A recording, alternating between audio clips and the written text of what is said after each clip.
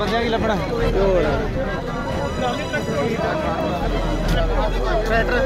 ਰਾਜੂ ਕਿੱਥੇ ਆ?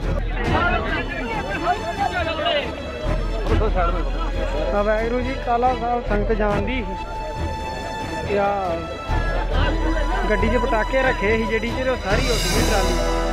ਕਿਸੇ ਦਾ ਮੂੰਹ ਨੂੰ ਉੱਡ ਗਿਆ ਇਹਦੀ ਲੱਤ ਉੱਡ ਗਈ। ਕਾਲਾ ਸਾਹਿਬ ਨੂੰ ਸੰਗਤ ਜਾਣਦੀ ਸੀ।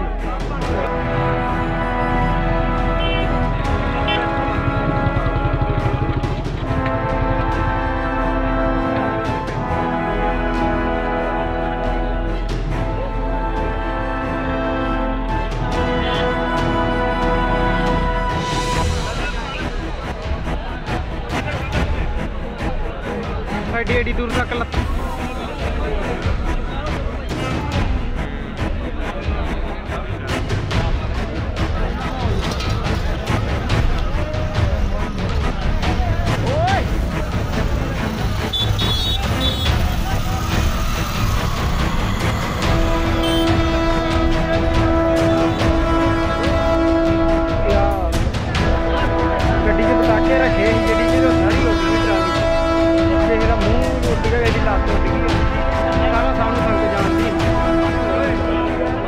ਜੀ ਨਗਰ ਕੀਰਤਨ ਸੀ, ਇਹ ਆਪਣਾ ਬਾਬਾ ਦੀਪ ਸਿੰਘ ਗੁਰਦੁਆਰਾ ਸਾਹਿਬ ਹੈਗਾ ਪੁਲਿਸ ਸਟੇਸ਼ਨ ਭਿੱਖੀਵਿੰਡ ਤੇ ਉਧਰੋਂ ਫਿਰ ਇਹ ਨਗਰ ਕੀਰਤਨ ਚਾਟੀਵਿੰਡ ਪੁਲਿਸ ਸਟੇਸ਼ਨ ਦੇ ਵਿੱਚ ਬਾਬਾ ਗੁਰਦੁਆਰਾ ਟੀਲਾ ਟਾਲੀ ਸਾਹਿਬ ਹੈ, ਉੱਥੇ ਉਹ ਜਾ ਰਿਹਾ ਸੀ।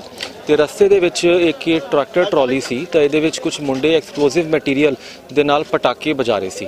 ਤਾਂ ਪਟਾਕੇ ਵਜਾਉਂਦੇ ਵਜਾਉਂਦੇ ਜਿਹੜਾ ਪੋਟੈਸ਼ ਸੀ, ਉਹਦੇ ਵਿੱਚ ਬਾਰੂਦ ਸੀ ਉਹਦੀ ਐਕਸੀਡੈਂਟਲੀ ਐਕਸਪਲੋਜਨ ਹੋ ਗਿਆ ਔਰ ਐਕਸੀਡੈਂਟਲ ਐਕਸਪਲੋਜਨ ਹੋ ਕੇ ਪੂਰੀ ਟਰਾਲੀ ਉੜ ਗਈ ਔਰ ਜਿੰਨੇ ਵੀ ਉਹਦੇ ਵਿੱਚ ਬੱਚੇ ਸੀ ਸਾਰਿਆਂ ਦੀ ਡੈਥ ਹੋ ਗਈ। ਸਰ ਕਿੰਨੇ ਜਾਣੇ ਸੀ? ਇਹ ਤਕਰੀਬਨ ਸਾਰੇ ਮੁੰਡੇ ਸੀ ਯੰਗਸਟਰ ਸੀ 18 19 ਸਾਲ ਦੇ। ਇਹ ਪਹੂਵਿੰਡ ਇਲਾਕੇ ਤੋਂ ਹੀ ਬਿਲੋਂਗ ਕਰਦੇ ਸੀ।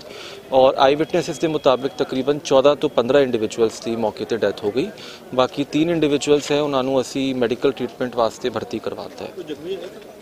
ਜ਼ਖਮੀ, ਹਾਂਜੀ, ਤਿੰਨ ਹੈਗੇ, ਉਹਨਾਂ ਨੂੰ ਅਸੀਂ ਅਜੇ ਭਰਤੀ ਕਰਵਾਇਆ ਹੈ ਹਸਪੀਟਲ ਦੇ ਵਿੱਚ ਬਟ ਉਹ ਵੀ ਅਜੇ ਕਾਫੀ ਕ੍ਰਿਟੀਕਲ ਕੰਡੀਸ਼ਨ ਦੇ ਵਿੱਚ ਹੈ। ਔਰ ਮੇਨ ਕਾਜ਼ ਆਫ ਐਕਸਪਲੋਜਨ ਇਹ ਸੀ ਕਿ ਬੇਸਿਕਲੀ ਇਹ ਪੋਟੈਸ਼ ਦੇ ਨਾਲ, ਬਾਰੂਦ ਦੇ ਨਾਲ ਰਸਤੇ 'ਚ ਹੀ ਪਟਾਕੇ ਵਜਾਉਂਦੇ ਹੋਏ ਆ ਰਹੇ ਸੀ। ਔਰ ਆਈ ਵਿਟਨੈਸਸ ਦੇ ਮੁਤਾਬਿਕ ਇਹਨਾਂ ਨੇ 3-4 ਵਾਰ ਪਹਿਲੇ ਵੀ ਇਸ ਤਰੀਕੇ ਤੋਂ ਪਟਾਕੇ ਵਜਾਏ ਸੀ।